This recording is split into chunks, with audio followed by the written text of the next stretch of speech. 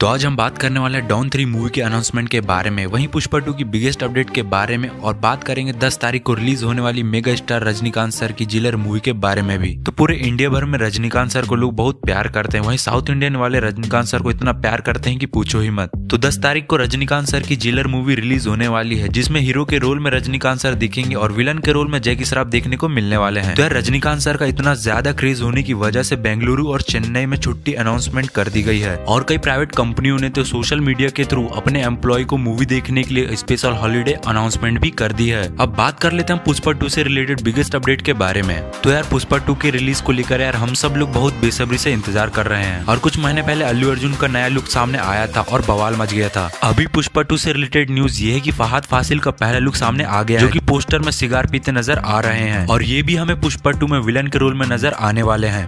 दोस्तों बात कर लेते हैं डॉन थ्री मूवी के अनाउंसमेंट के बारे में। तो यार फ़िल्म मेकर्स ने सोशल मीडिया पर एक टीजर शेयर किया है। इसे डॉन थ्री का टीजर बताया जा रहा है। ट्विटर पर एक्सेल इंटरटेनमेंट ने एक वीडियो शेयर किया है, जिसमें सिर्फ़ थ्री को हाईलाइट किया गया और कैप्शन में लिखा हुआ है न्यू एरा बिगन्स यानी की एक नया दौर शुरू। इस वीडियो को लेकर अफवाह ये फैल रही कि ये डॉन थ्री को लेकर एक हिंट है। अब इस बात पे कितनी सच्चाई है अभी तो पता नहीं। और मार्केट पर एक अफवाह ये फैल रही कि डॉन थ्री में शाहरुख खान नहीं, बल्कि रणवीर सिंह डॉन का रोल करेंगे। तो इस बात पर कितनी सच्चाई है तो मुझे पता नहीं। वैसे आप डॉन थ्री में शाहरुख खान को देखना पसंद करोगे या फिर रणवीर सिंह को हमें कमेंट करके ज़रूर बताना। वैसे डॉन थ्री को लेकर अभी तक क्लियरली कोई ऑफिशियल टीजर रिलीज़ नहीं किया गया है। तो यार यहीं पे हमारी वीडियो खत्म होती है। मिलते हैं हम लोग नेक्स्ट वीडियो में।